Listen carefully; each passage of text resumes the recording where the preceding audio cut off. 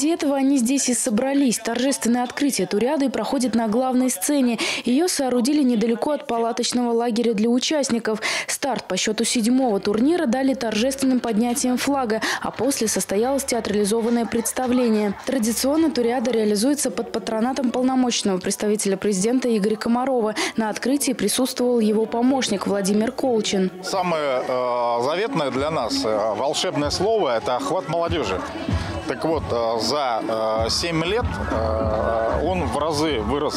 То есть наша аудитория почти сейчас 100 тысяч, а мы начинали всего лишь э, с 50-60 тысяч участников муниципальных, региональных этапов.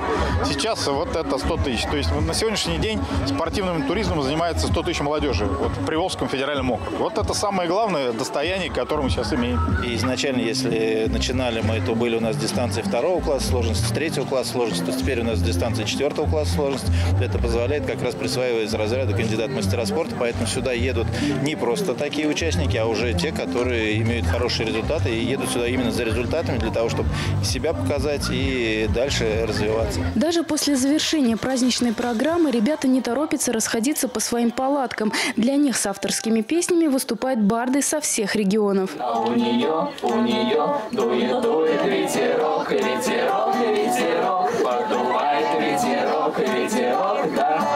А вот так молодых спортсменов будут будить каждое утро. Зарядку для участников туриады проводить будут специальные инструкторы. По словам организаторов, такие разминки нужны, чтобы спортсмены избежали травм во время соревнований. Ну, зарядка была необычная для меня. Это была, я так понимаю, йога.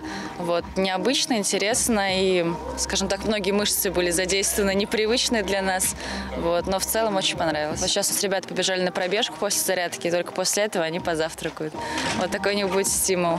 В первый день соревнований участников ждут пешеходные и водные дистанции, также творческие конкурсы. Их результаты будут известны поздним вечером. Рануша Генян, Максим Пустовалов, Саратов, 24.